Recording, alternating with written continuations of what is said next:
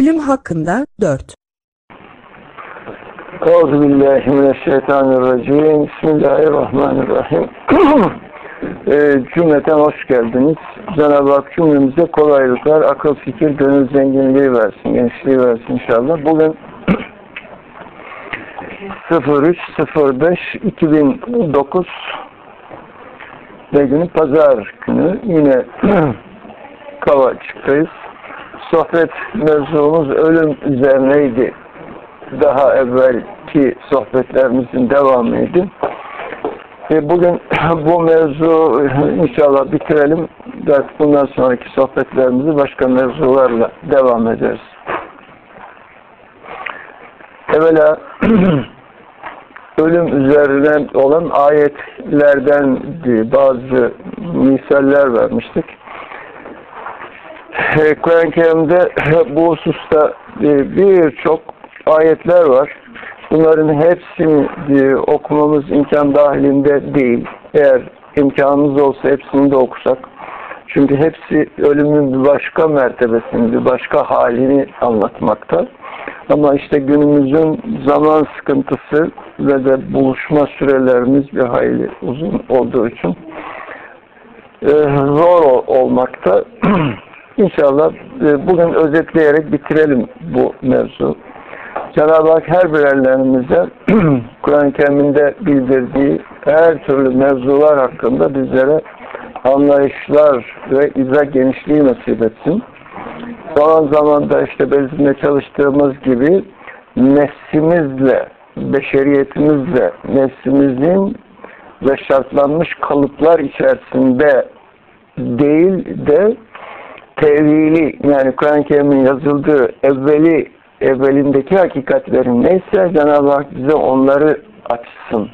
Kendi nefsimizle anlayacağımız sınırlı hallerini değil, sonsuz gerçek hallerini, gerçek hakikatlerini, deronunda bulunan gerçekleri bize anlat, anlatmaya çalışsın. Biz anlamaya çalışalım inşallah. Ve devam ediyoruz kaldığımız yerde. 6'ya 122 Dal olarak okuyorum. Ya bir kimse ki ölüyken diriltmişiz ve ona bir ışık vermişiz. Onunla insanlar arasında yürüyor. O mesela zulmetler içinde kalmış ondan asla çıkamaz. Bir halde bulunmuş olan bir kimse gibi midir? Bu ayet-i kerime gerçekten çok mühim meseleleri bünyesinde bu hususlardaki meseleleri bulunduruyor. Ve bir bakıma bu ayeti reenkarnasyon, reenkarnasyoncular da alıyorlar. İşte Kur'an-ı Kerim de reenkarnasyonu böyle kabul ediyor. Kur'an-ı Kerim'de de var diye. Bu ayeti kendi mantıklarına göre yorumlayarak tasdik ettiğini zannediyorlar. Halbuki tamamen yanlış düşündükleri. Bismillahirrahmanirrahim. Evemen kâne meyten fe ahyeynâhu ve cealnâhu nuran yemşi bihi finnâsi. Bakın şu bölüm o kadar müthiş ifadeler e, arz eden bir bölüm ki Sadece bu ayetin gerçeğini anlamamız, bütün hayat boyu kendimizi bulmamıza yardım edecek şiddette, yücelikte, zenginlikte, derinlikte ayet şerif. men kâne meyten bakın ne kadar müthiş bir ifade. men o kimse ki kâne idi meyten ölü idi. Yani o kimse ki yani bir kimse var o kimse ki ölü idi. Feahyeynahu biz ona hayat verdik. O kadar müthiş bir ifade. Ve cealna lehü nuran onun içinde özel bir nur ceal ettik. Bakın yarattık, hayat ettik. Sonradan verdik değil. Yani o kişi için özellikle ve cealna lehu nuran ona bir nur verdik. Yani onda bir nur zuhura getirdik ki diğer nurların çok üstünde dışında değişik bir nur çünkü tahsis var. Ona biz bir nur verdik. Peki ne yapıyor o nurlar? Yemşi yürüyor. Nerede? Bihi onun ile filmaz. İnsanların içerisinde o nur ile yürüyor. Ne kadar müthiş bir ifade. E, hususide olan bir hadiseyi bahsediyor. Evemen yani o kimse ki o kimseler ki denmiyor. Yani cem, cemaat olarak ya yüellezine amenu yok. Bakın tüm tüm yok. Yani herkesle ilgili bir şey yok. Demek ki o kimse diye bahsedilen bir hedef var. Yani hakkın hedef olarak bahsettiği bir hususiyet var. Yani kimlik hususiyeti var. Menlik hususiyeti var. İşte evvela kul bünyesinde bu hususiyeti oluşturması gerekiyor. Ki hedef ışık olsun. Şimdi hani evvelce ok atarlarmış ya bir hedefe şimdi silah atılıyor yani hedef mühim olan hedef. Burada işte Cenab-ı Hakk'ın men evemen o kimse ki yani bir e, kimlik var ki biz o kimliği işaret ediyoruz. Ya bakın o kadar açık. Ve nasıl? Kâne meyten. O ölüydü. Yani bizim indimizde ölü idi. İşte burada her ne kadar birey olarak bahsediliyorsa da aslında ilk ayetin bu bölümünde hepimiz bu şekilde birey olarak ölüyüz. Neden ölüyüz? İşte dünyaya geldiğimiz zaman beşer elbisesini çocuk ismiyle giydiğimizde e, hakikatimizden, ayniyetimizden gayriyete düştüğümüz için ölü hükmündeyiz. Efendim işte e, çocuk geldi dünyaya doğdu, işte yaşıyor, geziyor, dolaşıyor, görüyor. Onun görmesi tamamen fiziki bir olay. Zahiren bakıldığında. İşte o elbiseyi giydiği zaman o çocuk görmeye, konuşmaya başladığı zaman gördüğü, konuştuğu şey tamamen hakkın dışında maddi manada bir hayata geçmiş oluyor. Yani ruhaniyetinden zahirine, madde alemine geçmiş oluyor. Madde alemine geçtiği zaman da hakikat itibariyle ölmüş, e, ceset olarak dirilmiş oluyor ki o ona diri denmiyor, hay denmiyor. Sadece yaşayan bir varlık deniyor. İşte her birerlerimiz bu hükümdeyiz. Doğduğumuz zaman meyten yani her birerlerimiz hani e, halakal mente vel hayate e,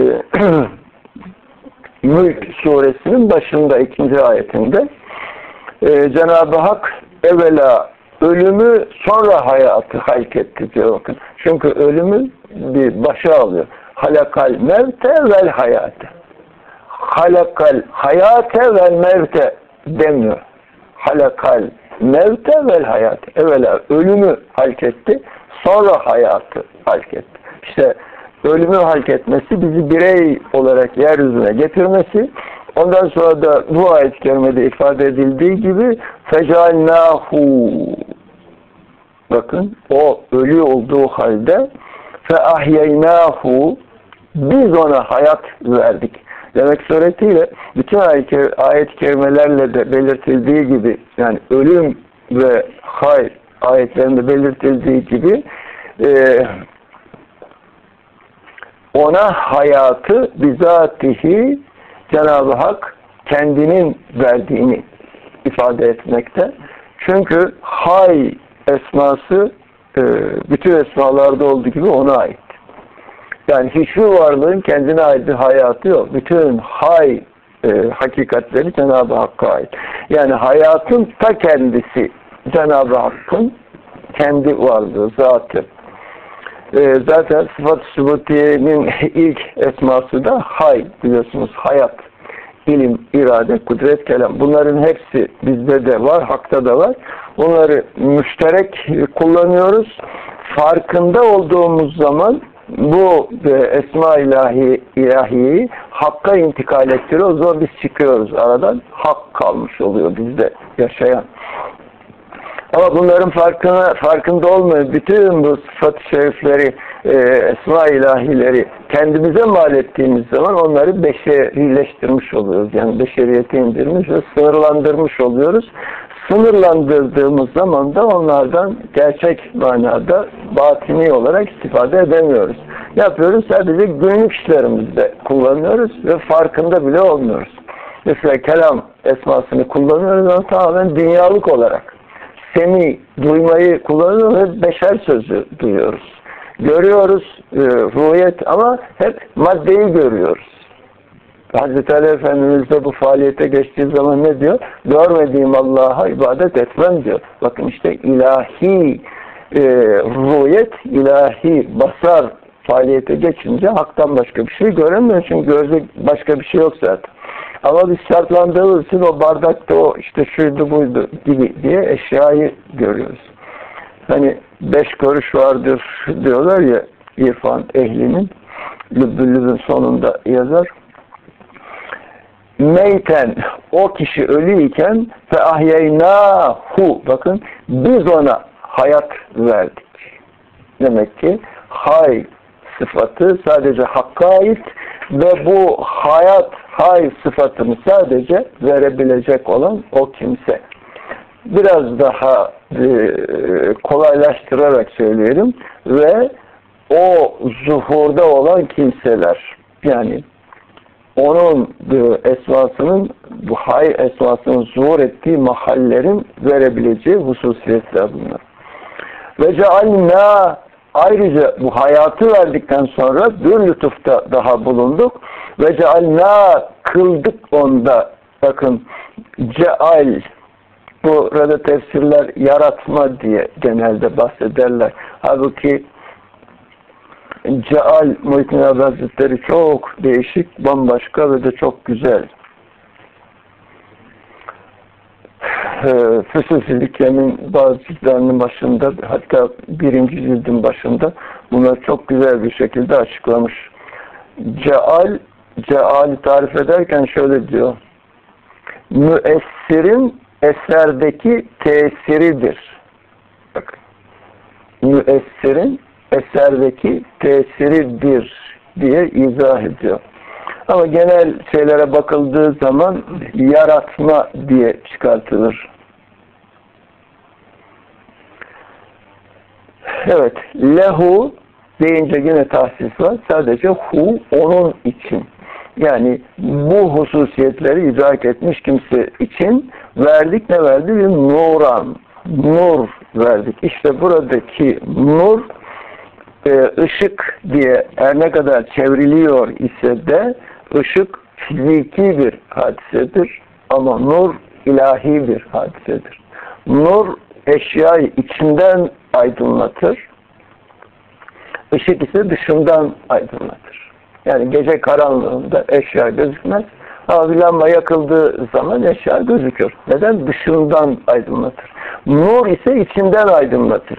Eğer bir eşyanın içinden aydınlanması yoksa, yani iç bünyeden zuhura çıkartılması yoksa, o zaten eşya hükmü ile meydana gelmez. Yani bir varlık nur olmadıktan sonra dışarıya çıkması mümkün değil.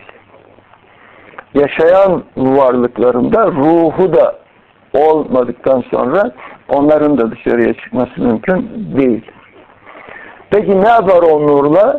Yemşi, bakın yürür bihi, nerede? Finnasi, insanların içerisinde o nur ile yürür. Demek ki o kişilerin hususiyeti evvela hay esmasıyla Cenab-ı Hakk'ın zatından aldığı bir hayat, ilahi bir hayat ve o hay ile hayatla birlikte aldığı ilahi bir nur ve o nur ile bakmakta, o nur ile hayatı görmekte ve onunla yürümekte. Nerede? Finnas insanların içerisinde. Ama bu kimse tarlada, ovada, coğrafyada yürümüyor mu? Orada da yürüyor tabii. Ama orada yürüyorken kendi kendine yürüyor ama insanlar içerisinde yürüyorken bu nuru insanlara da talip olanlara aktarma imkanı var. Aradaki fark o. Yani insanlar içinde yürüyor demesi insanlar içerisinde o nuru ile beraber yürü, yürürken aydınlatıyor da manasında. Yani insan için boşu boşuna yürüyen, yani caddede yürüyen herhangi bir kimseyi mevzu etmeye gerek var mı? Herkes sıradan yürüyor. Ama mevzu ediliyorsa demek ki o yürüyorken etrafına ışık saçıyor. Veya dinlenme mahallerinde, sohbet yerlerinde bu nuru ve hayatı dağıtabiliyor. Ee, özelliği bu.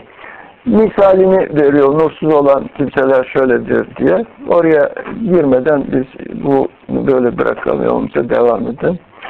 Anlaşıldı mı? Buradaki hususiyet. Ee, ayet numarasını söyleyelim. 6'ya 122 araştırmak isteyen varsa oradan daha geniş olarak bakabilir.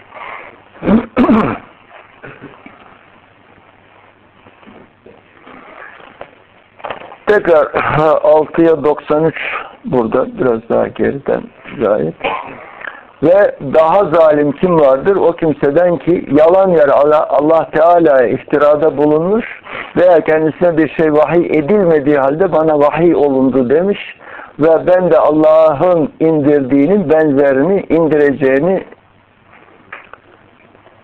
indireceğim diye iddiada bulunmuş olur. Görecek olsan o zamanki zalimler ölümün dalgaları içinde kalacak onlara melekler de ellerini uzatarak çıkarınız canlarınızı bugün alçaklık azabıyla cezalanacaksınız. Allah Teala'ya karşı gerçek olmayanı söyler olduğunuzdan ve onun ayetlerinden böbürlenerek kaçtığınızdan dolayı diyeceklerdir. Şimdi burada e, bir mesele var.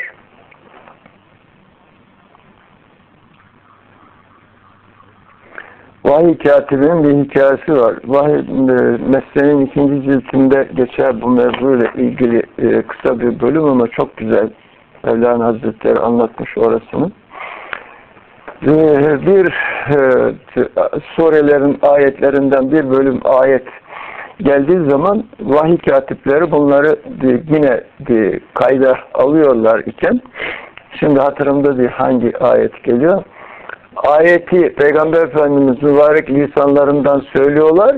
Son kelimeye geldiğinde vahiy katibinin birisi son kelimeyi Peygamber Efendimiz söylemeden ilave ediyor.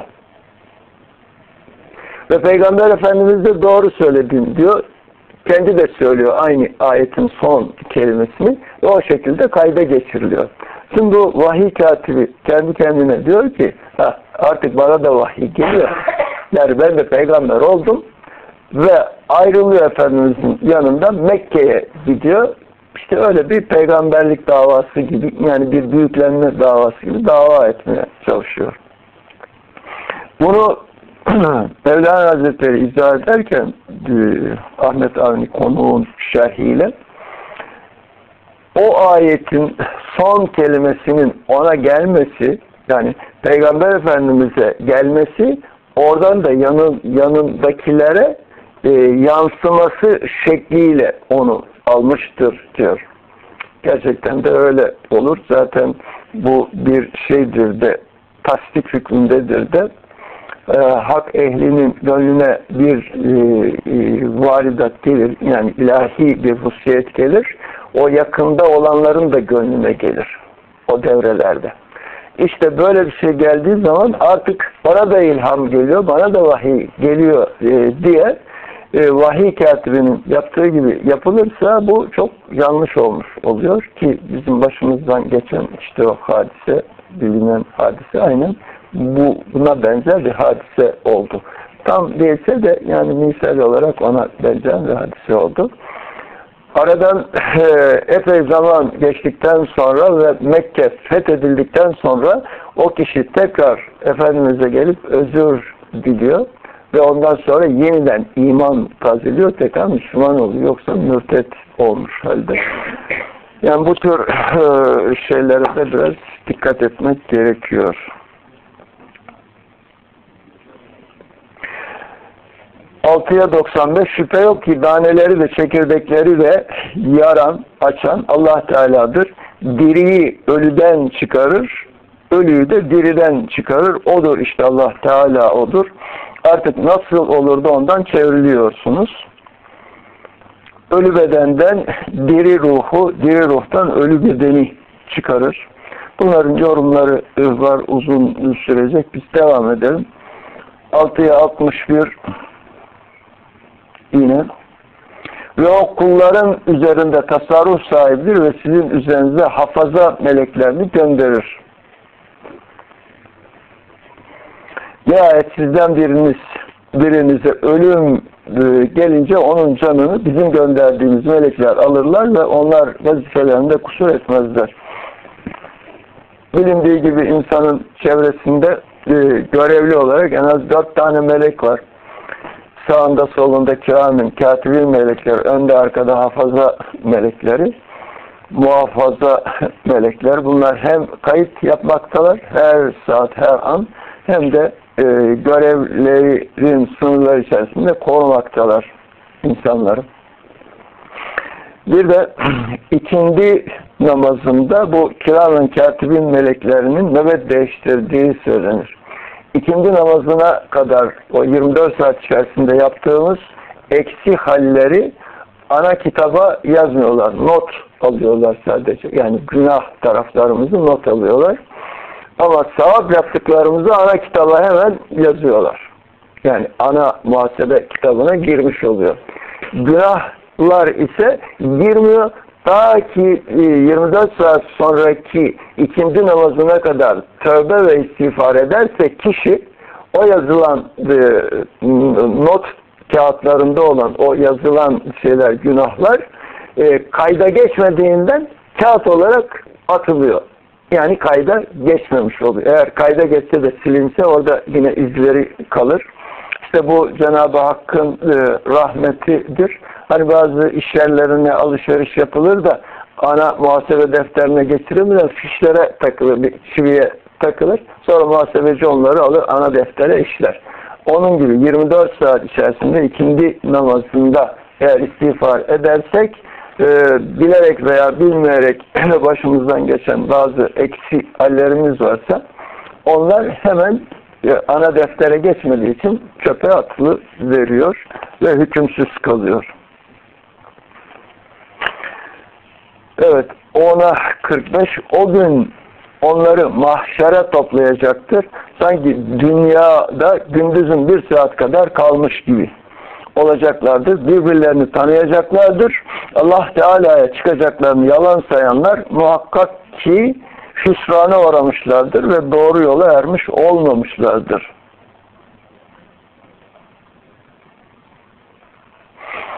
Burası da çok mühim. Hangisi mühim değil ayrı da yani konumuzla ilgili. O günkü onları mahşere toplayacaktır. Yani Cenab-ı Hak kıyametten sonra haşır neşir gününde mahşere toplayacaklardır.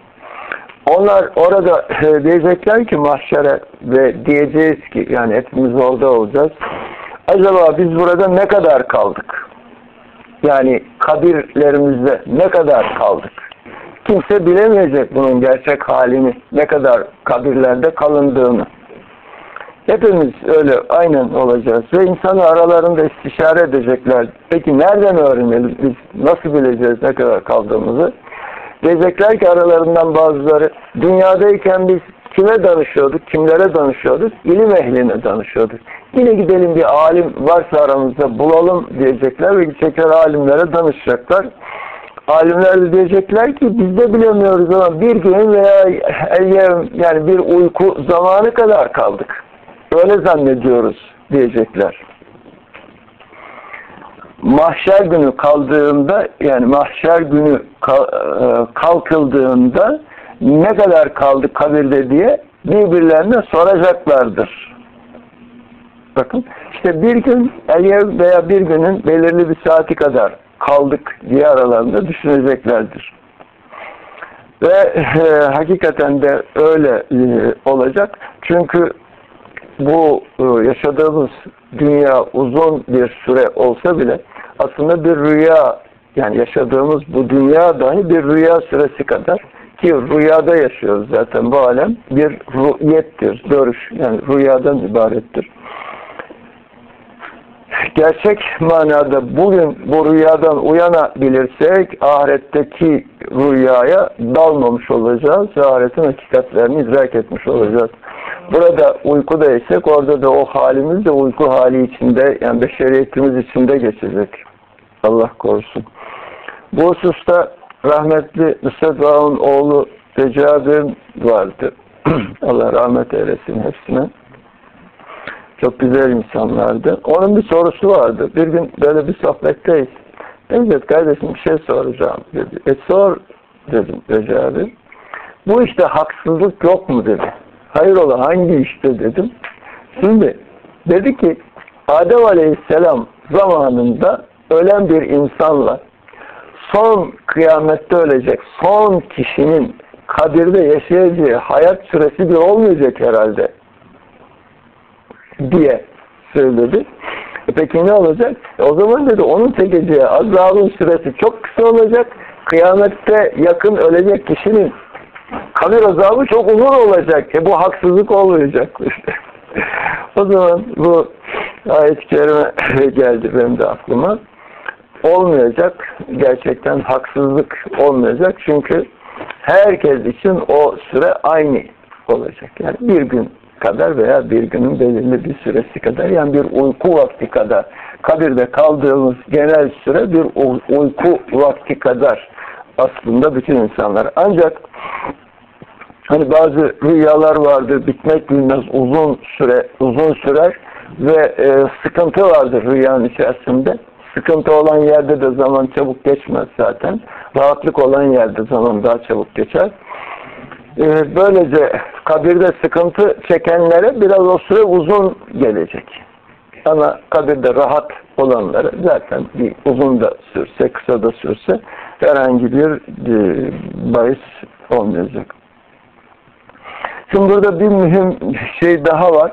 Birbirlerini tanıyacaklar diyor ayet-i kerimede. Bakın burası dikkat çekici bir hal.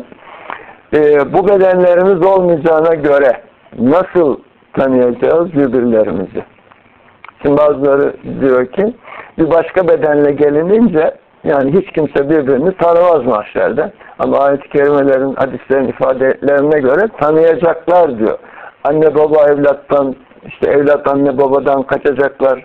İşte günahkar ondan gidecek hesap sormaya çalışacak ki hesap sormaya çalışması tanıması demek.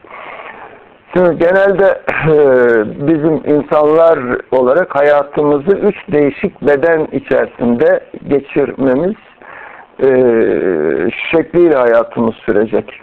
Birincisi beden toprak anasır erbağdan meydana gelen, toprak, su, ateş, havadan meydana gelen dünya elbiselerimiz var. Et kemik hücre yapısı dediğimiz bu ceset Bunlar elbise. Yani bu, üzerimizdeki biz değiliz bu. Evvela bunu kesin olarak bilmemiz lazım. Bu ben dediğimiz şey ben değiliz hiçbir zaman olmadı olmazdı zaten. Olamaz da. Çünkü ben diye bir şey yok. Tüm bu alemde. Allah'ın varlığından başka hiçbir şey yok.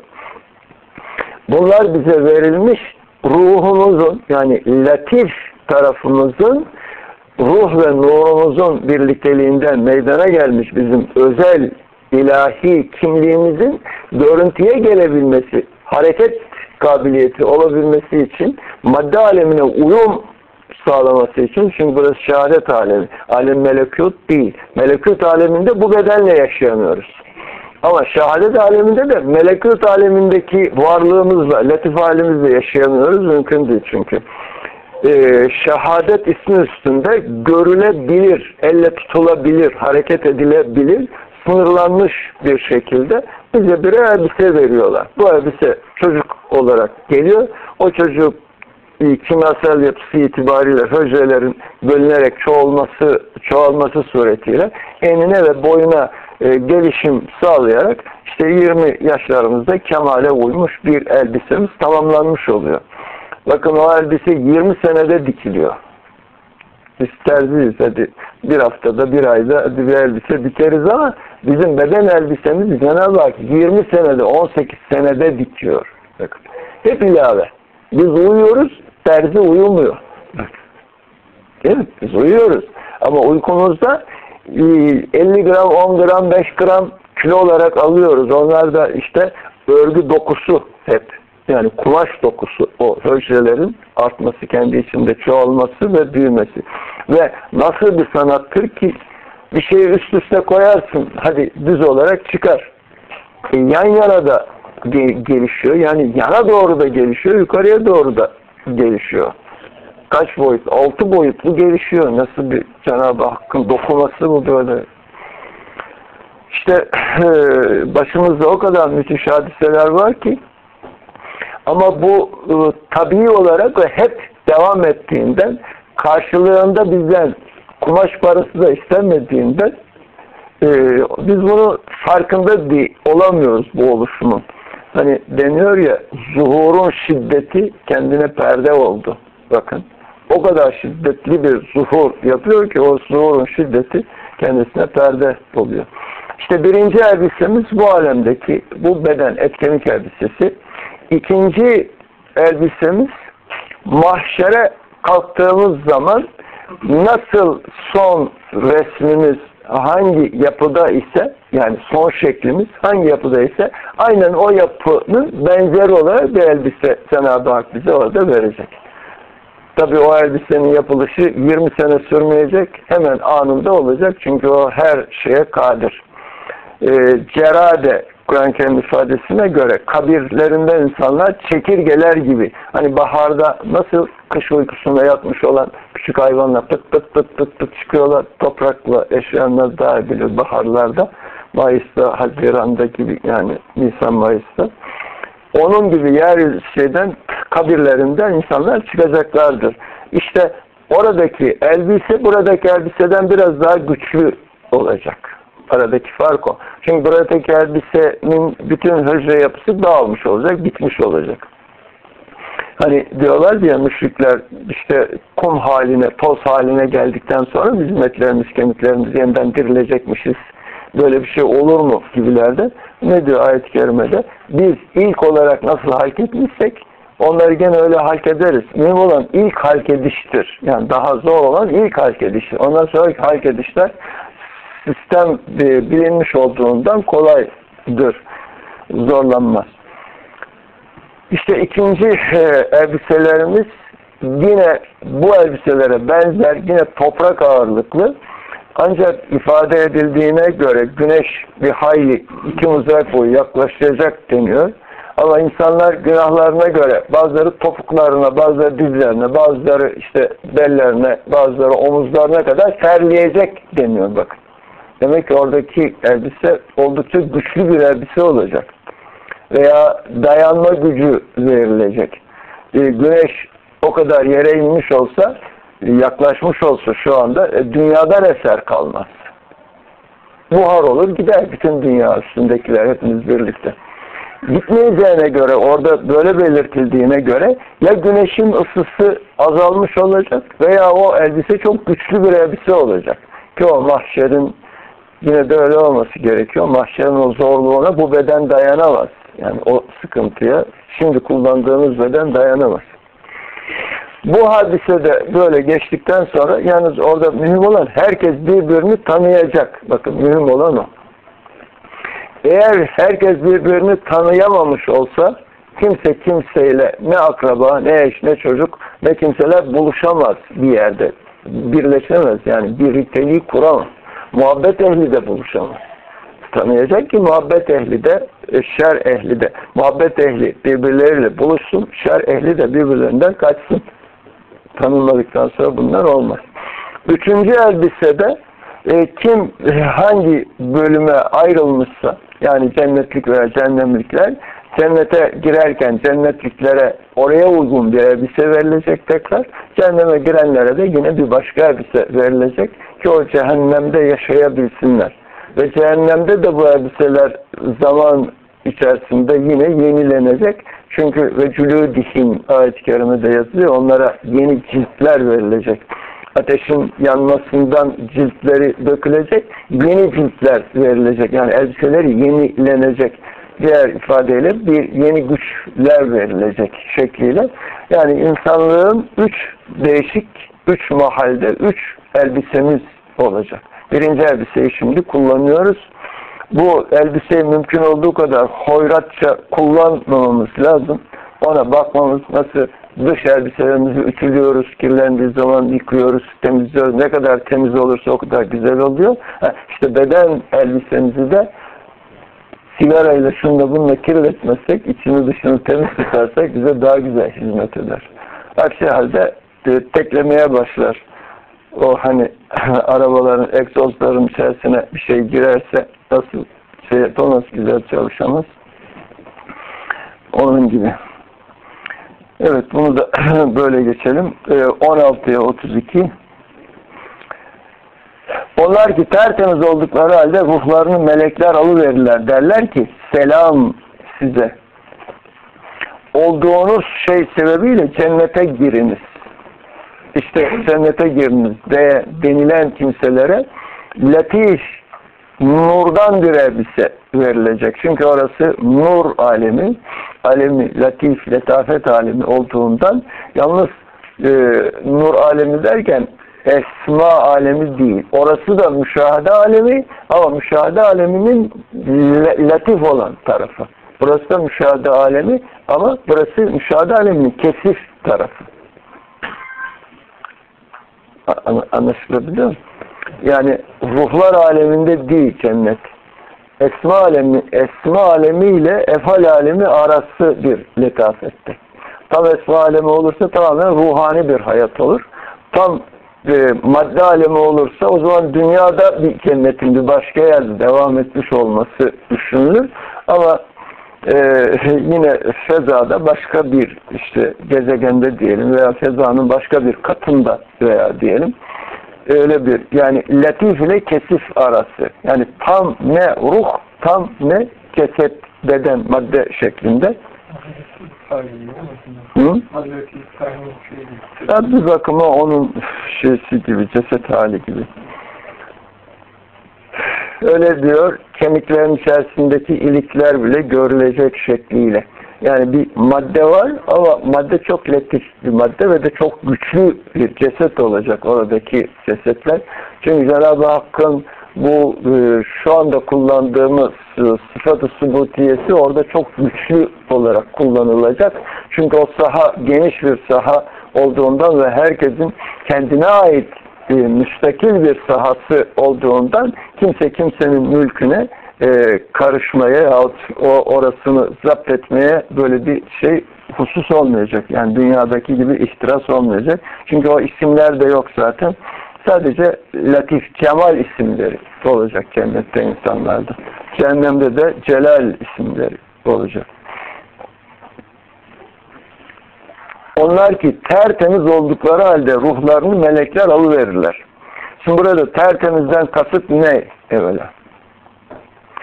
İlk olarak beşeri manada baktığımızda işte günah işlememişler, kimselere kötülük yapmamışlar, işte bedenlerini bir haramlarla doldurmamışlar, kirletmemişler gibi bir temizlik yani bedeni bir temizlik anlaşılıyor evvela ilk olarak ama burada e, irfani manada gerçek temizlikten kasıt kendi varlıklarına beşeriyet anlayışını karıştırmamış olan kimselerin temizliği. Yani kendi varlıklarına beşeriyeti karıştırmamış. Yani hakkın varlığına beşeri hallerini karıştırmamış olan temizlikler. Anlıyor Yani birisi günahlardan temizlenmiş, o zaten olmadan öteki olmaz. Evvela günahlardan temizlenmek, sonra da nefsinden temizlenmek.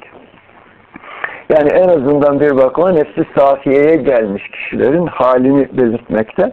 Onlara ne diyorlar? Melekler alıverirler, ruhlarını melekler alıverirler diğer insanların ruhlarını Azrail birçok değişik görüntülerde alır. Burada melekten kasıt Azrail'in e, rahmani görüntüde olan kuvvetleri, melekleri. Ve selam size derler. Hani Yasin-i Şerif'te de geçiyor. Selamün kavlen min Rabbir Rahim.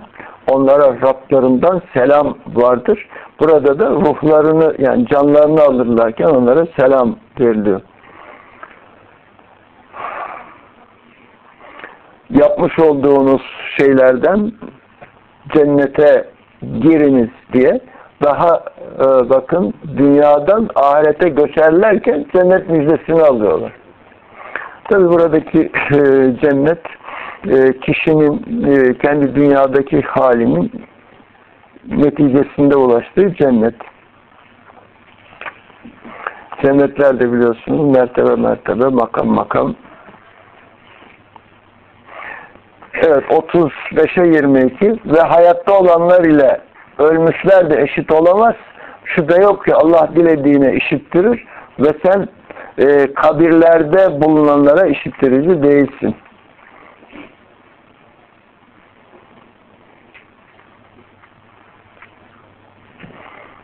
Evet, bitiremeyeceğiz gene bugün. Neyse, 40 dakika oldu. Özet olarak geçelim. Ve hayatta olanlar ile ölmüşler de eşit olamaz.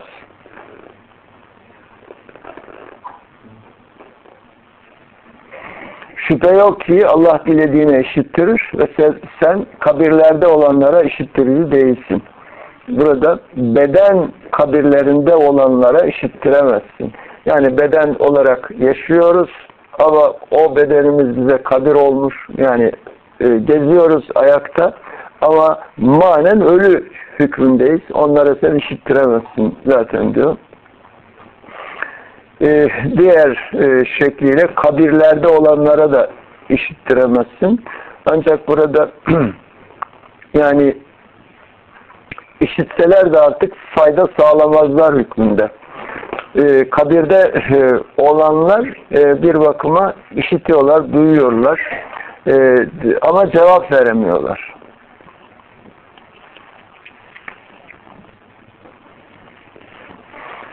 Evet, burasını da geçelim. Şimdi ölümle ilgili bazı hadisler bölümüne geldik. Onları da yavaş yavaş okumaya çalışalım. Ayşe radıyallahu anh'ın her zaman şöyle dediği rivayet olmuştur.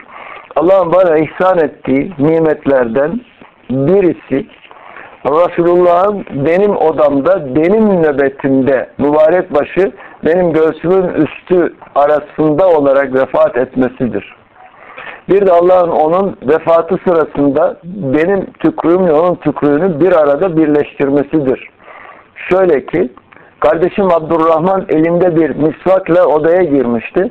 Ben de Resulullah'a göğsüne yan dayamıştım. Onun misvaka dikkatle baktığını gördüm. Misvakı çok sevdiğini bildiğim için size misvakı alayım mı diye sordum. Başıyla evet al diye işaret etti. Hemen alıp sundum. Fakat katı gelmişti. Ya Resulallah biraz yumuşatayım mı diye sordum. Başıyla evet diye işaret etti. Ben de misvakı yumuşatıp verince ağzında yürütüp fırçaladı. Bir de Resulullah'ın yanında sahtiyandan ufak bir su kabı içinde su ile beraber dururdu. Ara sıra iki elini bu o, kaba batırıyor ve ıslanan elleriyle yüzünü sıvıyor ve La ilahe illallah ölümün ne şiddetli sademeleri var diyordu. Sonra elini kaldırdı ta ruhu alınıncaya kadar Allah'ım beni Refik-i Ala camiasında kıl duasını devam etti.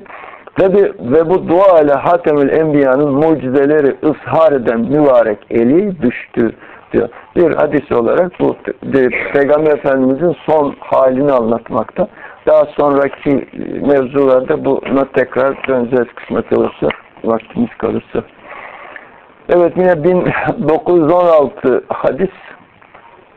Sizden biriniz kendisine hastalık gibi bir zarar isabet ettiğinden dolayı sakın ölümü temenni etmesin.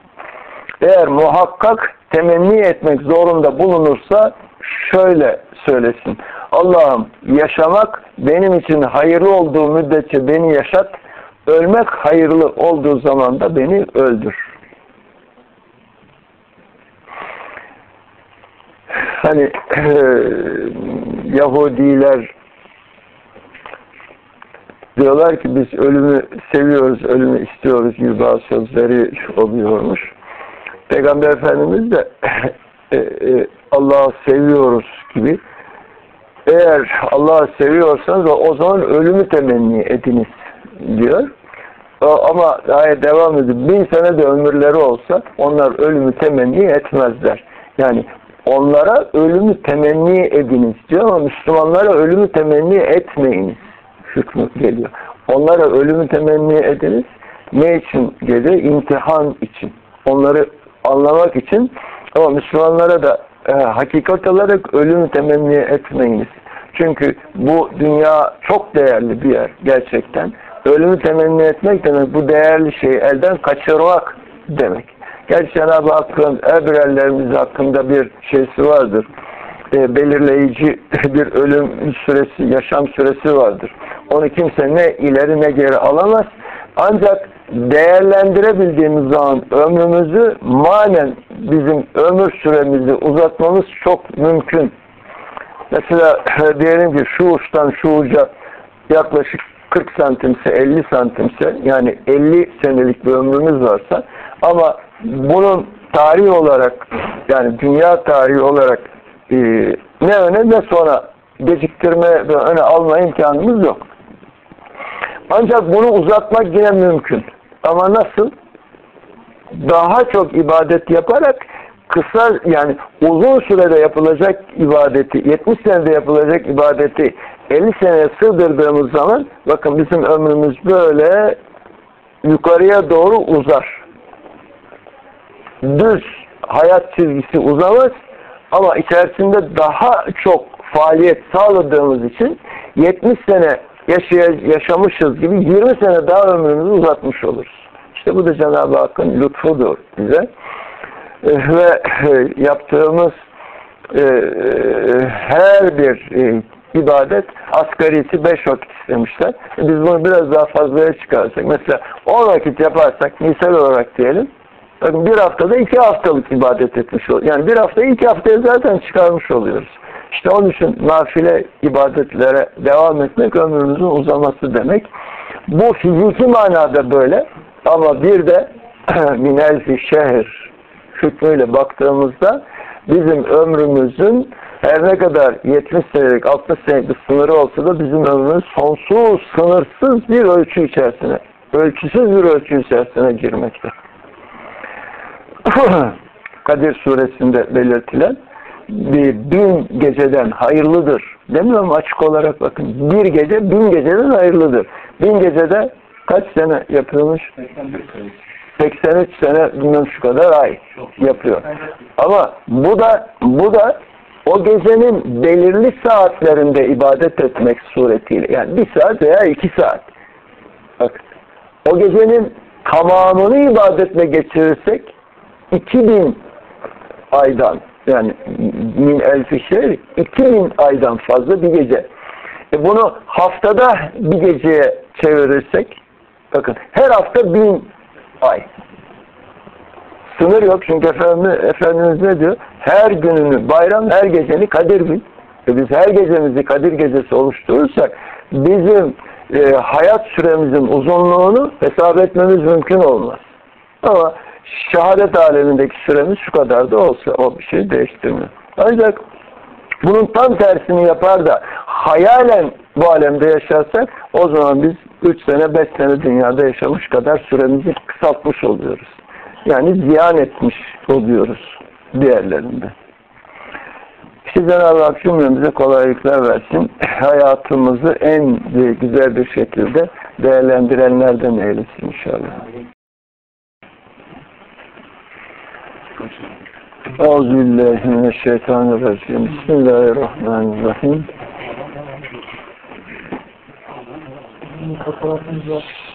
Sohbetimize kaldığımız yerden devam edelim.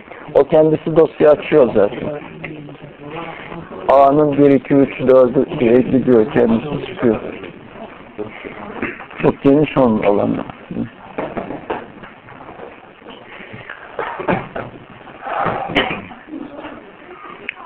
1916. hadiste kalmıştık.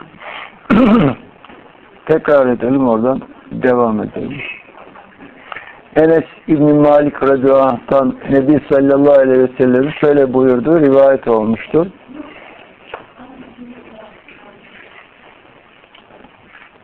Sizden biriniz kendisine hastalık gibi bir zarar isabet ettiğinden dolayı sakın ölümü temenni etmesin eğer muhakkak temenni etmek zorunda bulunursa şöyle söylesin. Allah'ım yaşamak benim için hayırlı olduğu müddetçe beni yaşat, ölmek hayırlı olduğu zaman da beni öldür. Yani Ya Rabbi beni öldür diye ölümü temenni etmesin. Ancak ölüm benim hakkımda hayırlı ise öldür beni al desin. Yani temennisini böyle yapsın diye. Çok nazik, çok güzel bir ifade kullanılmış. Şimdi burada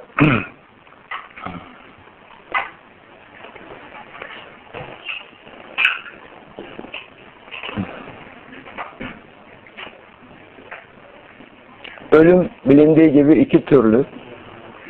Kendisine bir zarar isabet ettiğinden dolayı yani hayatında zorlanmasından dolayı. Artık çekemeyeceğim bu hayatın yükünü. İşte şu iş başında bu iş başında ya Rabbi al artık canımı da kurtulayım. Hani zaman zaman söylenir ya böyle ölümü temenni etmesin diyor. Değil E, temenni edilecek bir ölüm var bu hayatta. Onu da Efendimiz zaten bize yol olarak göstermiş. Muti kable entemut yani ölmeden evvel ölünüz demek ne oluyor? Bunu temenni ediniz demek oluyor. Zahiren yani e, fiziki manada ölümü temenni etmeyiniz. Ama nefsinizden ölmeyi temenni ediniz. Ben size bunu tavsiye ediyorum ve sizin hayatınız bu ölümledir. Zaten demek istemiyorum.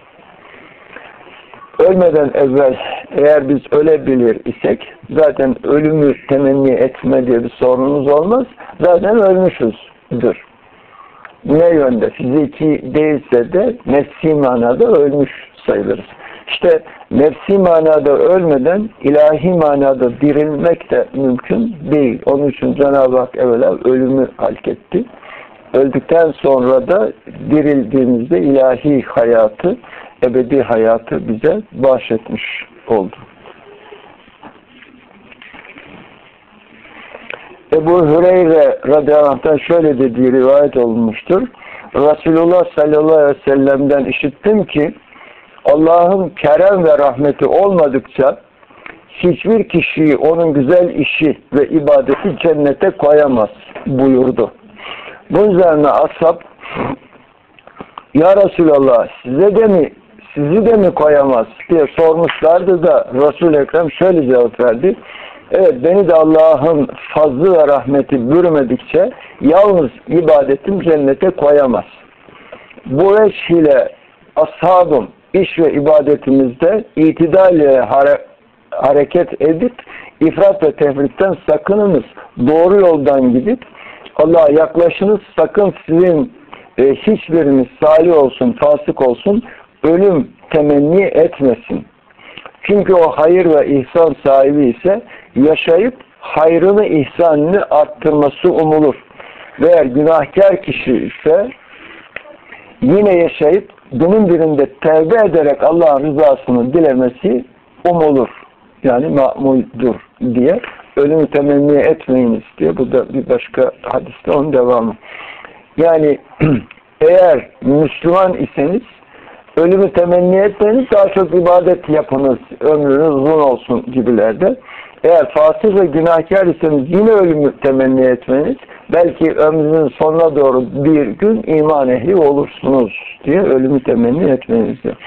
Ancak temenni edilecek e, ölüm ölmeden evvel ölmek üzere yani şuurda ve idrakte eski anlayışımızın bizden gitmesi yani o düşüncelerimizin iptal olması demek ölmemiz demek. Yani eski bina üzerine kurulmuş olan akıl, düşünce anlayışlarımızın bizden gitmesi, uzaklaşması, kendimizi onlar zannettiğimizden, onların da bizden gitmesi suretiyle bu şekilde biz ölmüş olmaktayız. Yine 2169. hadis Enes İbni Malik radıyallahu anh'tan eğer ben Resulullah sallallahu aleyhi ve sellem sakın ölümü temenni etmeyiniz buyurduğunu işitmiş olmasaydım muhakkak ölümü temenni ederdim. Enes İbni Malik bunu söylemiş. Eğer Resulullah'ın ölümü temenni etmeyiniz sözünü duymamış olsaydım ben mutlaka ölümü temenni ederdim demiş. Dediği rivayet olunmuştur. Neden? e, ne kadar çok hayatta sıkıntı çektiği böylece anlaşılmış oluyor. Yani hayatında zorlanmış ki ölümü temenni eder duruma gelmiş. İbni Enes İbni Malik e, biliyorsun sahabe-i kiramın büyüklerinden Peygamber Efendimizin de hizmetinde bulunmuş uzun seneler. Onun bir başka rivayeti var. Diyor ki bir yerde 10 sene Aziz Peygamber'in e, hizmetinde bulundum. Bir gün bana şunu niye böyle yaptın, niye böyle ettin demedi diyor. Bak. Bu da Aziz Peygamber'in kadere e, ne kadar vakıf olduğu ve onun fiilinin nasıl bir fiil olduğunu anladığından kendisine hiç müdahale etmediğini ifade etmekte.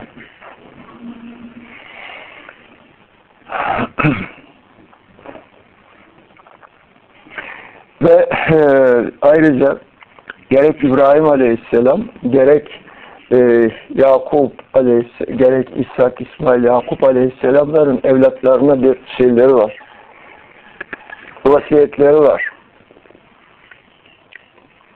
Zavassa İbrahim ve Yakubu felâ temûtunne illâ ve entüm. Bu ayet-i kerime birçok yerde geçiyor. Felâ temûtunne sakın ha ölmeyiniz. Ayet-i kerime açık olarak. Ölünüz ama Müslümin, Müslümanlar olarak ölünüz diyor. Şimdi zerberellerimiz İslam beldelerinde dünyaya geldiğimiz için kendimizi Müslüman addediyoruz. Bu Müslümanlık bize e, veraset yoluyla gelen bir Müslümanlık. Yani kes kazanç yoluyla gelen bir Müslümanlık değil. Kes Müslümanlık İslam e, diyarlarında dünyaya gelmeyip başka diyarlarda dünyaya gelip de Müslüman olabilmek için daha güç tarafı, daha zor ve daha takdir edilecek tarafı e, bizler verese miras olarak alıyoruz. Miras yedi derler hani mirasın da pek kıymeti bilinmez. Ama kişi kendi eliyle kazandığı şeyin kıymetini daha çok bilir. Yahudiler bir mal alırken aralarında şöyle konuşurlarmış. Bir mal alacakken birisinden sorarlarmış. Bu mal nereden geldi bu kişinin eline? Kendi mi kazandığı miras mı aldı? Miras aldıysa o malı almaya daha çok üstüne giderlermiş. Çünkü kolay olur o satış daha ucuza verir diye. Ama sorarlarmış kendi mi sahip oldu ama o, o malı almaya pek teşebbüs etmezlermiş. Çünkü sahibi kolay kolay satmaz o malı elinden yükünü çektiği için. Ama miras olan şey kolay. Yani haydan geldi huya gider. Zahiren dedikleri gibi aslında o hayfu işi değil. Oradaki ifade daha başka. Hay dan gelen yani Cenab-ı Hakk'ın hayyından gelen hu olana gider.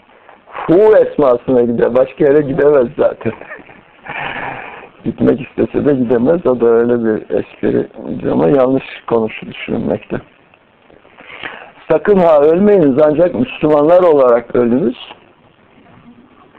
İşte aslında gerçek Müslüman olarak ölme, ölmek ölmeden önce ölmek demektir. O zaman da ölümü temenni etmeye zaten gerek kalmaz. Ölümü temenni etmeyiz ancak Müslüman olarak ölünüz dendiği zaman zaten bunlar muti kablen yani ölmeden evvel ölüm hakikatini idrak ederek ölenlerdir ki bu ölüm temenni edilir. Aslında orada temenni bir şey diye bir şey de kalmaz. Neden? Kişinin kendi yok ki temennisi olsun, istediği arzusu olsun. Hak orada dilediği şekilde zuhura gelir. O kişi de ona zaten müdahale etmez. Kendi yok ki müdahale etsin. Ayşe radıyallahu şöyle rivayet edilmiştir. Hazreti Ayşe demiştir ki Resulullah sallallahu aleyhi ve sellem bir kere ailesi başında ağlaşmakta olan bir Yahudi hanımının mezarın yanından geçmişti de bunlar ölülerine ağlıyorlar. Halbuki ölü kabrinde azap olunuyor buyurmuştur. Yani onlar o e, mevtalarını, ölülerini kaybettik diye ağlıyorlar. Halbuki ölünün derdi başından aşmış. Azap ediliyor orada diyor.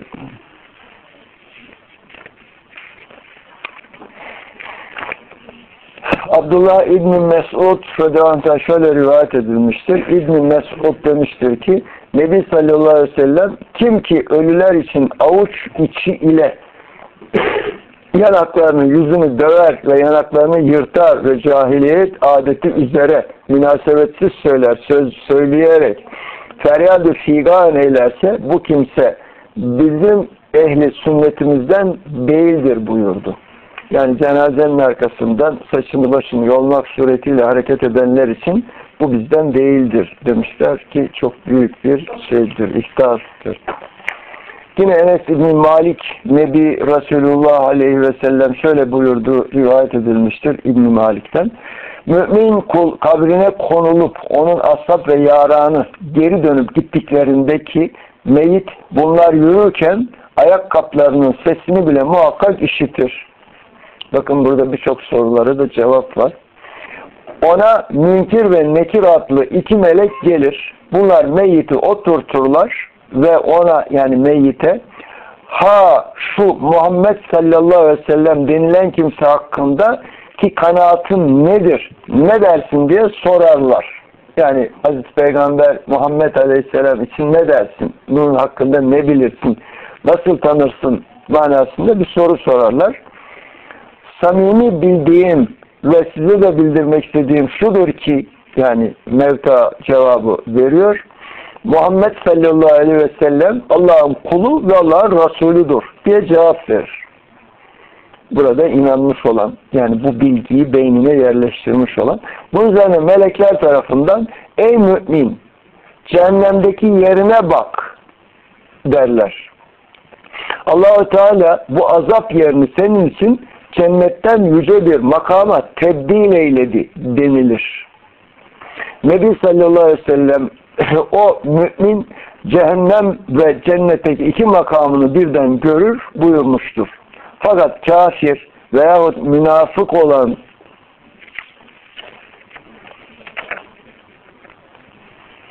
meyit meleklerin bu sualine karşı Muhammed hakkında bir şey bilmiyorum.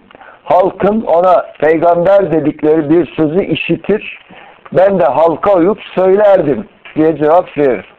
Bu iki melek tarafından bu kafir veya münafık münafıka hay sen anlamaz ve uymaz olaydın denilir. Sonra bu kafir veya münafığın iki kulağı arasına demirden bir topuzda vurulur. O topuz yiyince kafir veya münafık şiddetle sayha ile bir bağırır ki bu feryadı ins ve cinden başka bu ölüye yakın olan her şey işitir diye kabrin ilk gecesinde ki ya ilk girişindeki hadiseyi kısaca belirtmekte. Şimdi tekrar başa gelelim de özetle bakalım. Mümin kul, bakın mümin kul kabrine konulup ve ashab ve yakını yani dostları, arkadaşları ve yaran geri dönüp gittiklerindeki meyit bunlar yürürken ayakkabılarının sesini bile duyar, bile muhakkak işitir. Ona Münker ve Nekir adlı iki melek gelir. Bunlar meyiti oturturlar ve ona sorarlar. Ee, oradaki e, duyuş nasıl bir duyuş oluyor? Rüyada nasıl ki bakın gözümüz görmüyor, kulağımız duymuyor. Yani atıl vaziyette e, havası hamse-i zahire de, de, dediğimiz beş zahir duymuz iptal hükmünde. Yani yatağa yatmış uzanıyoruz. Kulağımız duymuyor, gözümüz görmüyor. Ee, ama rüyada her şeyi görüyoruz, konuşuyoruz, işitiyoruz, hissediyoruz, tutuyoruz. Aynen ya şeydeki gibi e, uyku olmadığı halimizde yaşadığımız gibi hissediyoruz. İşte bu havası hamseyi zahire, havas hamseyi batına diye insanda 10 tane duygu var, hususiyeti var. Birisi beş duygu dediğimiz işte tatma, duyma, koklama, dokunma gibi. Bunların zahirle bir de bunların batınları var. Yani ruhani tarafımızda olanları var. Onlarla işte rüya aleminde onlar faaliyete geçiyor. Onlarla o hisleri duyuyoruz. Koku da alıyoruz, canımız da yanıyor, hoşlanıyoruz da değil mi? Rüya içerisinde korkularımız da oluyor, sevinçlerimiz de oluyor. Yani yaşadığımız dünyadan değilse aynı hisler e, rüya aleminde, uyku aleminde de oluyor. E, işte e, kabir alemi berzah dedikleri böyle bir uykudaki rüya alemi gibi. İşte daha sohbetin başında geçti ya mevzu bir gün bir kabirde kal, kalma süresi veya bir günün belirli bir süresi kadar gelecek insanlara işte uykudaki hal gibi. Yani orada kabre giren kişi duyuyor da e, kendi düzeyinde görüyor da bütün yani e, duyguları faaliyette fakat aracı olmadığından yani bunları çıkartacak hoparlör gibi zil gibi ne diyeyim kelam gibi araç olmadığı için elinde e, dilinde varlığında e, insanlara bunu ulaştıramıyor. Yani verici var ama kablo yok arada. Kablo olmadığı için insanlar yani biz duyamıyoruz bunu. Ama o duyuyor. Ve orada o şekilde yaşıyor zaten. Hani cennet çukurlarından bir çukur olacak. Şuurla yaşıyor. Cehennem çukurlarından bir çukur. Şuurla. Oradaki şuur nefsi, nefis oraya girecek. Yani kabre nefsimiz girecek. Ruhumuz kabre girmez. Çünkü toprak kesif olan latifi e, muhafaza edemez zaten. Mümkün değil. E, toprağın neresine sığacak? Sonsuz olan ruhunuz. Ruhlar çıkar kendi alemine gider. Ona da bir berzah diyorlar. Berzahta bir e, halin olduğunu söylüyorlar. E, huni gibi altı dar yukarıya doğru genişleyen orada odalar vardır. Her ruh gider orada. O odada yerinde durur. Kabre giren ruh değil, nefislerimizdir. Bakın bunu idrak etmemiz lazım. Kabre cesedimizle nefsimiz girmekte. Neden? Çünkü bu nefsimiz bedenimizle birlikte uzun süreli bir hayat yaşadığından ve kendini de bu beden olarak kabul ettiğinden e, latifle kesif tarafımız ayrılsa da birbirinden nefsimiz buna sahip çıktığında bir türlü ondan uzaklaşamaz. Ve e, nefsimiz bu bedenin aşığıdır. Bakın. Çünkü her türlü hareketini, her türlü gücünü bu beden vasıtasıyla ortaya çıkarmıştır bir ömür boyu ve bu bedeni kendine mal etmiştir, kendi zannetmiştir. Onun için ayrılamaz, kopamaz. ızdırabı da oradandır zaten. Kopamadığı, ayrılamadığı için kabre e, ceset konduğu zaman o nefis de onun bir karış üstünde veya bir santim üstünde neyse yani ondan çıkmış vaziyette ama nefis kendini yine onunla zanneder şartlanması o olduğu için bir ömür boyu.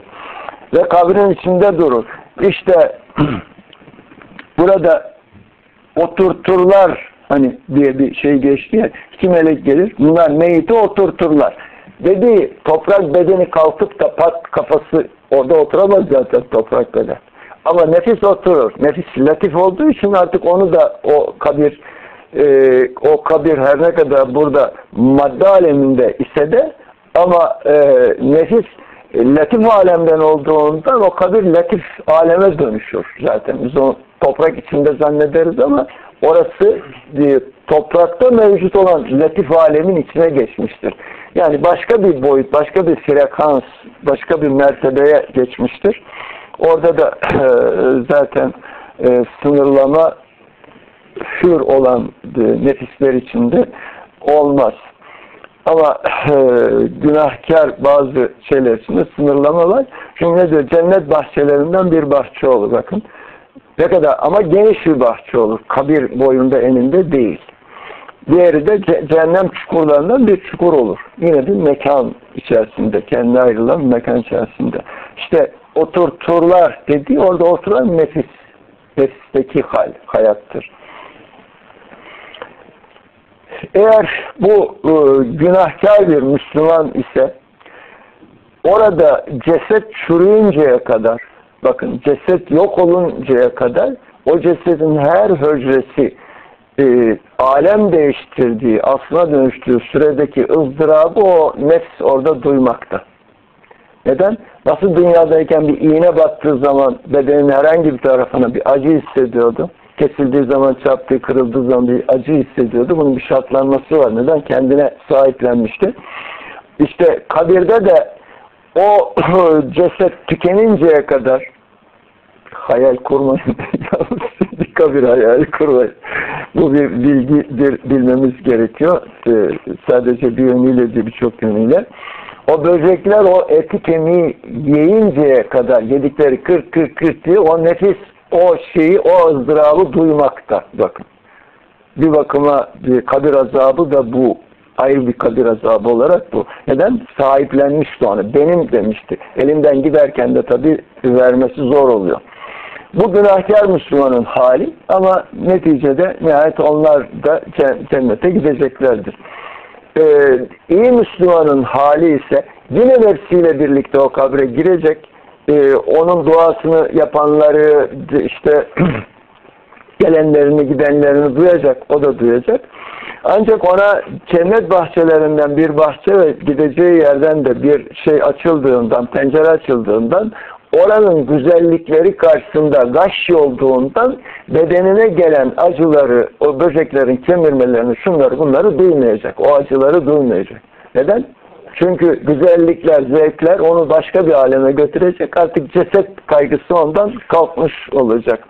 Hani e, nasıl e, Yusuf Aleyhisselam'ı e, Zeliha arkadaşlarının karşısına çıkardığı zaman onlara daha evvel meyvelerle bıçaklar koymuştu. Meyveleri soyuyoruz diye Yusuf Aleyhisselam'ı gördükleri zaman parmaklarını kestiler. Hiç acı duymadılar. Neden? Yusuf Aleyhisselam'ın güzelliği o acıdan daha üstün geldi. Acıyı duyurmadı onlara.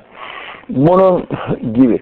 Bir de üçüncü olarak kabre girecek olan irfan ehlinin halleri var. Ki o irfan ehli artık bu dünyadayken men arafe nefsehu hakikatini idrak ettiklerinden onların nefisleri e, artık rahmaniyete dönüştüğünden nefisleri e, nefis sınırı sınırlar içerisinde kalmadığından artık onların nefsi ne kabire girer yani girer derken orada kalır ne de bir başka türlü sınırlanır. Ama bedeni ile uzun süre ünsiyette bulunduğu için bedeninin de son e, durak yeri, karar yeri o kabir olduğu için o o irfan ehlinin nefisleri de o kabirlerde dururlar. Diledikleri zaman çıkarlar, diledikleri zaman gelirler, dururlar. Yani o kabir artık onları tutmaz. Ama diğerleri kabirde kalır. Dışarıya çıkamaz, çıkamazlar. Bu da işin bir başka hali. Şimdi burada e, belki yeri zamanı değil bir başka sohbet içerisinde de söylenmesi gerekli ama mühim bir şey daha var. Onu da belirtelim. Kabe-i Muazzama ile ilgili Sevellü ve çeke şetra mesel haram ayeti geldiği zaman e, bütün tecelli ilahiye Kabe'ye yöneldiğinden Kudüs Şerif bakın veli kabri gibi kaldı. Burası çok mühim bir hadisedir. Bilinen bir şey de değildir. Neden? Daha evvelce orada esma ve sıfat tecellileri olduğundan, esma ve sıfat velilik hükmü olduğundan o tecelliler oraya akmış olduğundan o beldede onun bedeni olduğundan orası esma ve kabir, esma ve sıfat kabri hükmüne girdi.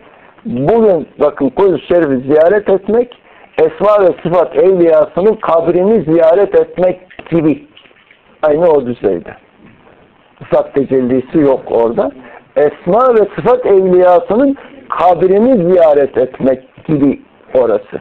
Ama Kabe-i Muazzama'yı ziyaret etmek Allah'ın zatını ziyaret etmek gibi. Yaşayan bir hali ziyaret etmek gibi.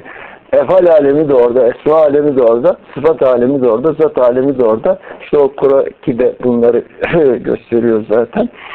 Yani şunu belirtmek istedim kabirlerden açılınca. Bugün kul serfin hükmü esma ve sıfat evliyasının ziyaretgahı hükmündedir. Yani ölü bir kabri ziyaret etmedir. Sevabı odur sadece o kadar. Başka bir sevabı yok.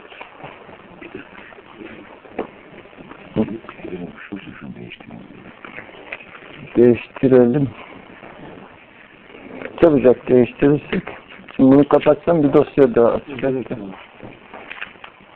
Yeni takmak mı? Yeni taktım. Şarjlıya bakıyorsun. Filmi, filmi, filmi, evet. filmi yorgun pildi belki beklemiş gibi. Neyse.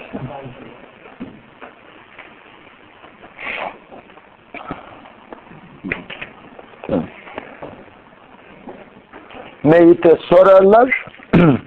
ha der şu Muhammed sallallahu aleyhi ve sellem denilen kimse hakkındaki kanaatin nedir? Ne dersin diye sorarlar. O mümin de samimi bildiğim ve size de bildirmek istediğim şudur ki Muhammed sallallahu aleyhi ve sellem Allah'ın kulu ve Allah'ın Resulüdür diye cevap verir. Bunun üzerine melekler tarafından Ey mümin cehennemdeki yerine bak. Allahu Teala bu azap yerini senin için cennetten yüce bir makama tebdil eyler denilir. Bu hadis-i şerifte de belirtildiği gibi her insanın iki tane mekanı var denilmekte haberlerde öyle bilinmekte şey için. Yani ahiret için hem cennette hem cehennemde iki tane mekanı var. İşte hangi e, hal üzere e, giderse cennetlikse cennetteki makamını, cehennemlikse cehennemdeki makamını ancak cehennemdeki makamı da cennetteki makama tebdil edildiğinden orası daha genişlemekte. Yani cehennemdeki yeri de cennete ithal olmakta. Tam tersi cehenneme gidenin cennetteki mekanı da olup cehenneme döndürülmekte o zaman. Yani Cenab-ı Hak haksızlık yapmıyor hiçbir zaman. Ee, her iki ihtimalde e, göz önünde bulundurularak her iki yerde mekan, makam veriyor insanlara. Bakın. Cennetteki iki makamını birden görür. Onu, o, o mümin cehennem ve cehennemdeki iki makamını birden görür buyurmuştur. Fakat kafir veya münafık olan meyit meleklerin bu sualine Muhammed hakkında bir şey bilmiyorum. Halkın ona peygamber dedikleri bir e, sözü işitir. Ben de halka uyup söylerdim diye cevap verdi. Bu iki melek tarafından bu kafir veya münafıka hay sen anlamaz ve uymaz olaydın denilir. Sonra bu kafir veya münafığın iki kulağı arasına demirden bir topuzla vurulur. O topuzu yiyince kafir veya münafık şiddetli sayha ile bir bağırır ki bu feryadı ins ve cinden başka bu ölüye yakın olan her şey işitir. İki kulağın arasına topuzla vurulur diyor. Şimdi hangi neresine vurdu? Cesedinin iki kulağı arasına mı yoksa nefsine mi? Nefsine mi? Cesedine vurulsa zaten bir şey olmaz. İşte ruhuna ruhuna dediğimiz nefsine vurulmakta. Yani veya o şekilde hissetmekte. Belki bedenine de vurulmakta da kendine vurulduğunu zannederek öyle e, azap olunmakta.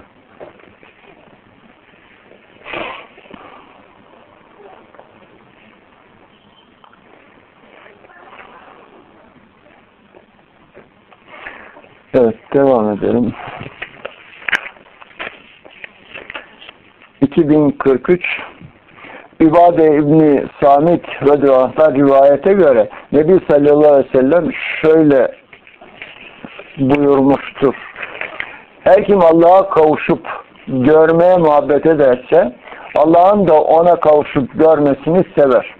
Her kim de Allah'a mülaki olmayı hoşlanmazsa Allah da ona mülaki olmayı hoşlanmaz. Ayşe yahut peygamberin bazı kadınları Ya Resulallah biz ölümü hiç ölümü hiç hoşlanmayız demişlerdi. Veya ölümden hiç hoşlanmayız demişlerdi. Resul-i Ekrem kadınlara ölüm sizin bildiğiniz gibi değil. Belki şöyledir.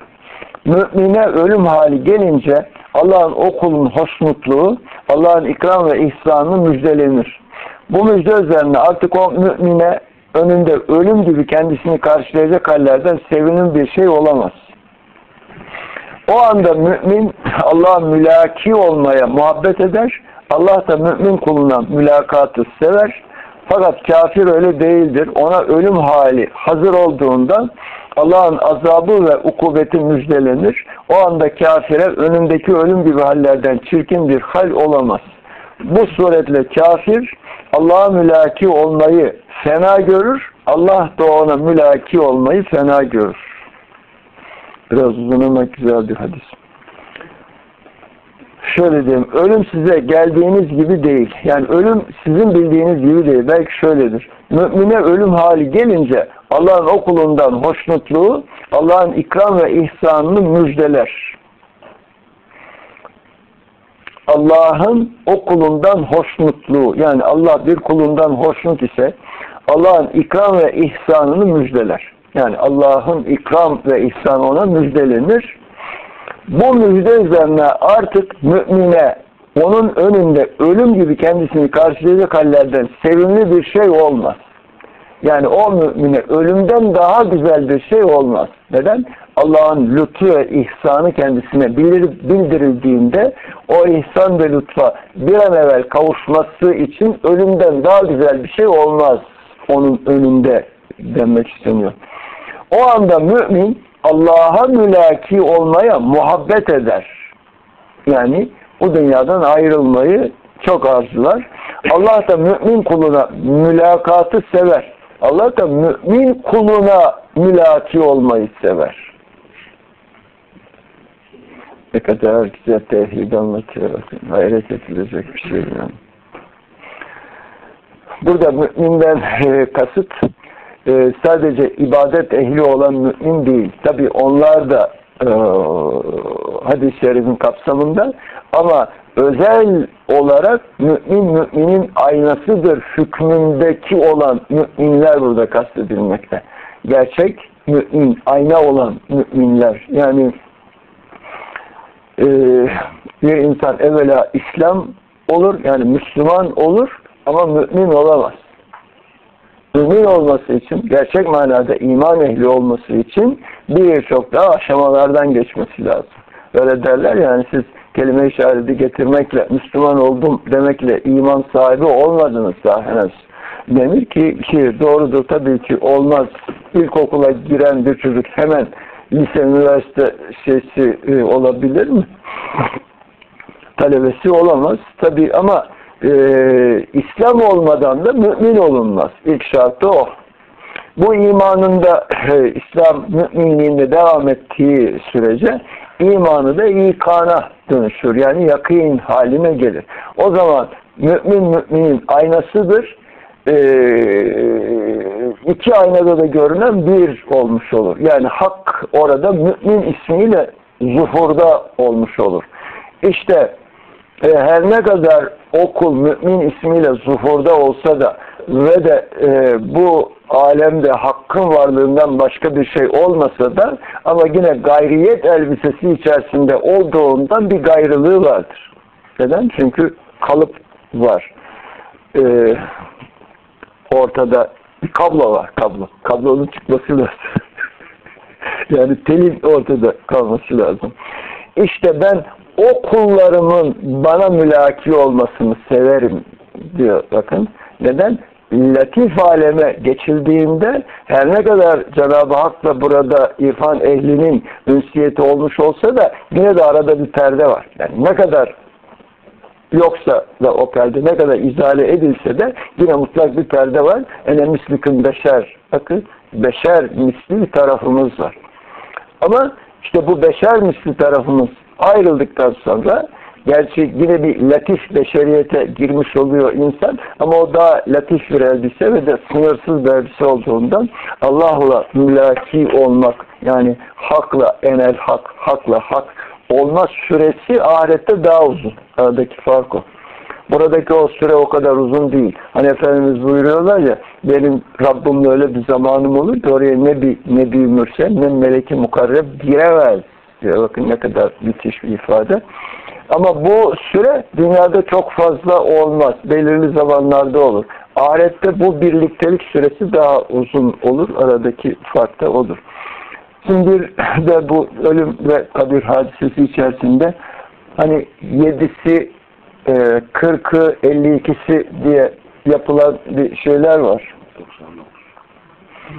E, yapılan uygulamalar var.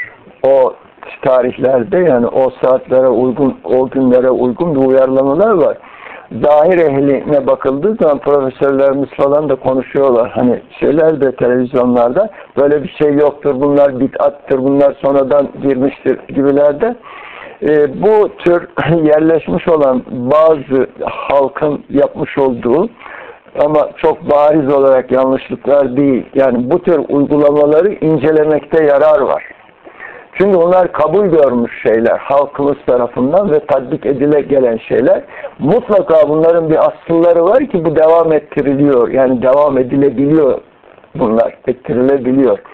İşte bunları topladığımız zaman 7, 40'ı, 53'ü 52'si ne yapıyor? 99 yapıyor bakın. Biz bir şey kargaşa, rastgele değil. 52. günü bakın o kişinin, o bedenin 52. günü 99 esma ilahiyenin hükmü artık o bedenin üstünden çıkmış oluyor. Bak işin hakikati bu. Ya bunları topladığımız zaman bak hiçbirisi rastgele değil. 7, 40 ve 52. Toplandığı zaman 99 esma yapıyor. 7. günde sıfat-ı subutiye denen zati hükümler üstünden çıkıyor artık. Tamamen etkisiz hale geliyor. 40. günde Esma ilahiyenin diğer isimlerinden 40 tanesi 52. günde de kalanların tamamı orası artık tam fosil hükmüne giriyor. Yani kişi dünyadayken bu esma ilahiye bu beden mülküne işlenmiş vaziyette. Hani allemel ademe esma küllihe Allah Adem'e isimlerin hepsini öğretti. Bu ne demek? Bakın bugün teknoloji bunu çözüyor. Daha yeni yeni bu ayet-i kerimeyi çözüyor. Lafız olarak söylediler, fiziki manadaki tahakkukunu da teknoloji yeni çözüyor. Neymiş onlarda? Her bir hücrelerimizde olan DNA yapıları. Bakın. Her DNA bir başka ismin özelliğini taşıyormuş. İnsan vücudunun üstünde. Yeni bulmuşlar. Hepsini bulamadılar. Daha, daha tam çözülmüş değil de. Yani bakıyor ki şu ölçüde bir, bir isim verici. X, X, 5 mesela diye bir DNA isim vermişler. Bakıyor ki onlar Rahman esması çıkıyor. O DNA'yı taşıyanların hepsinde Rahman esması ağırlıklı bir hayat var. Mesela X, X 25 mesela bir DNA isim. Bakıyorlar ki kırmızı vurucu kahar esması çıkıyor o DNA yapısı ağırlıklı olandan. İşte isimleri öğretti dediği bu. Bedenine giydirdi. Yani öğretti dediği zaman biz beyin fonksiyonu olarak sadece yani bilgi biçiminde anlıyoruz. Yok bilgiden de öte sahip yaptı onlara. İşte bir çocuk dünyaya geldiği zaman bütün esma ilahiyle teçhiz edilmiş vaziyette.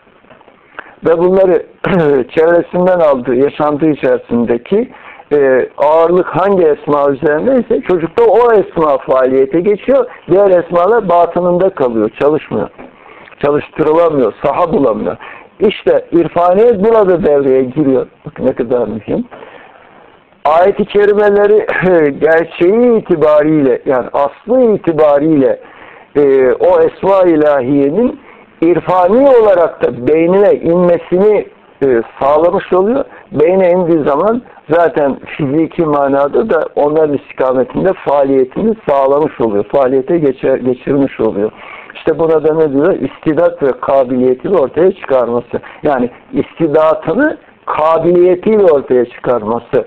E, kabiliyet, istidat olsa da kabiliyet olmasa o istidat batında kalıyor. İşte bu da insana çalışmanın gerekliliğini gösteriyor. E, istidadı vardır.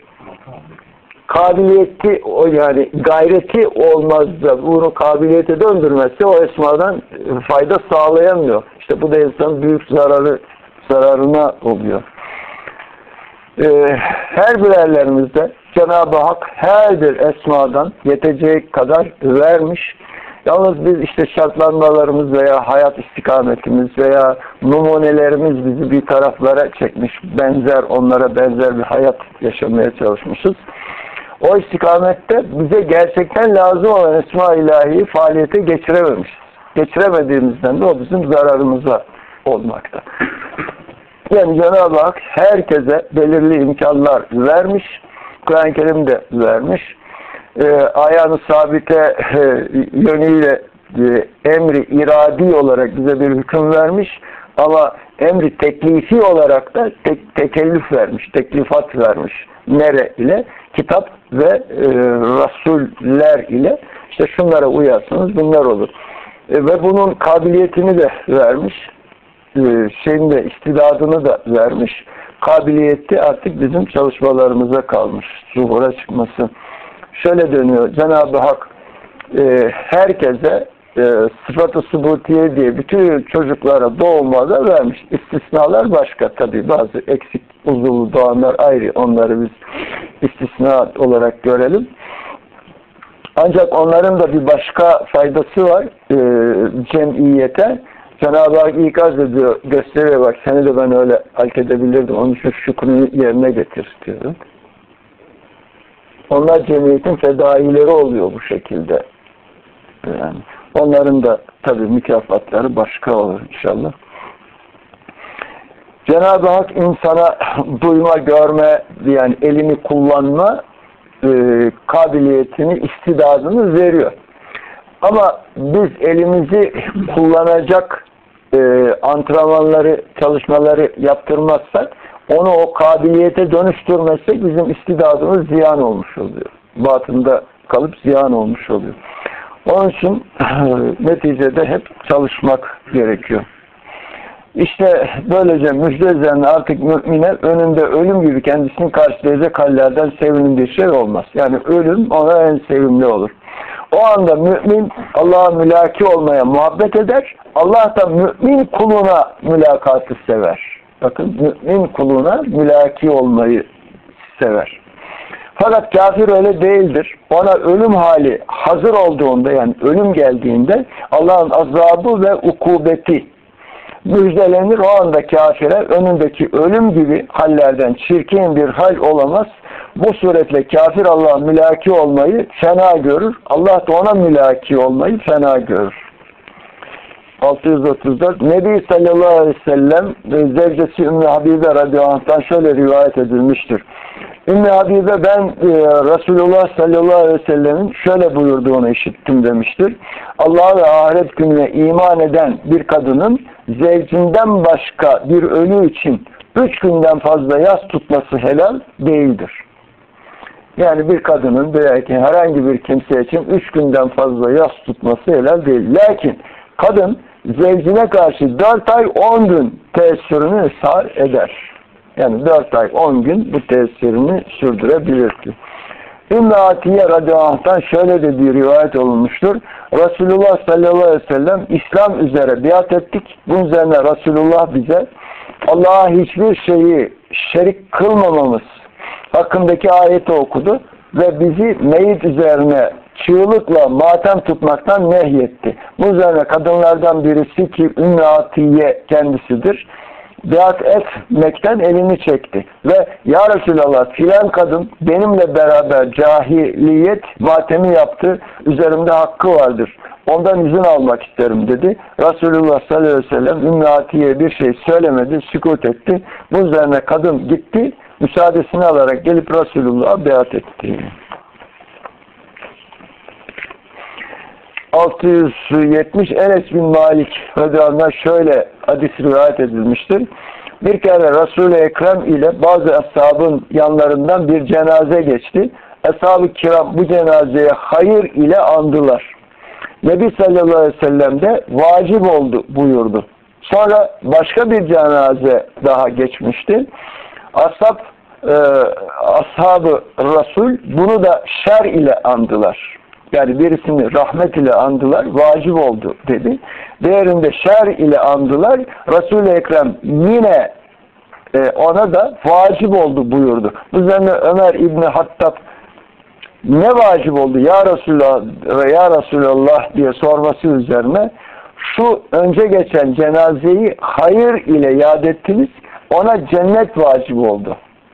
Sonraki cenazeyi şer ile andınız Buna da cehennem vacip oldu. Çünkü siz yeryüzünde Allah'ın şahitlerisiniz buyurdu.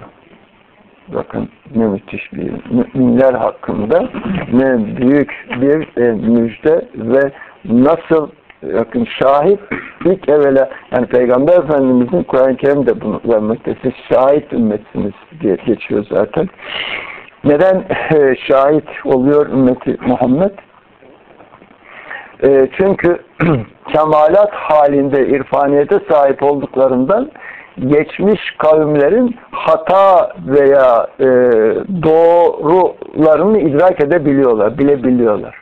Onun için gösterildiği zaman burada hata yapmış, burada isabet etmiş diyebiliyor ümmeti Muhammed. Neden? Hakikat Muhammedi bilgisi içerisinde oldukları için.